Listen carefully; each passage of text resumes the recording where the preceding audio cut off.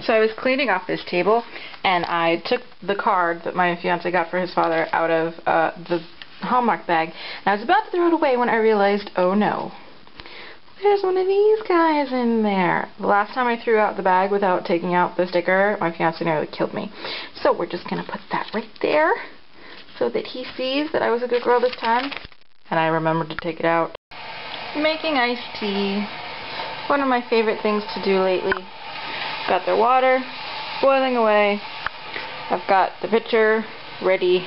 And then my, whatchamacallit, measuring cup